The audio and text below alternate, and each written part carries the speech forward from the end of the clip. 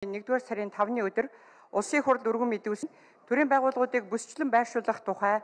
улсын хурлын тогтоолын анхны хилцүүлгийг улсын хурл 2024 оны 1-р сарын 16-ны өдрийн чуулганы нэгдсэн хурлаанаар хилцэж эцсийн хилцүүлэгт бэлтгүүлэхээр төрийн байгуулалтын байнгын хороонд шилжүүлсэн билээ. Төрийн байгуулалтын байнгын хороо 2024 оны 1-р сарын 16-ны өдрийн хурлаанаараа Монгол Улсын хурлын чуулганы хурлааны нэгэн тухай хуулийн 42 дугаар зүйл заасны дагуу төрийн байгууллагуудыг бүсчлэн байршуулах тухай улсын хурлын тогтоолын төслийн эцсийн хилцүүлгийг явууллаа. Нэгдсэн хурлааны анхны хилцүүлгээр олон хэмжлэг авсан саналуудыг төсөлд нэмж тусхан төс төслийн агуулга, бодлого, зарчмыг алдагдуулахгүйгээр үг хэллэг, дэс дараалал, бүтцийн шинжтэй засварыг хийж эцсийн хилцүүлэгт бэлтгэсэн төсөл болон байнгын хорооны танилцуулгыг та бүхэнд хүргүүлсэн болно. Улсын хурлын эрхэм гишүүдээ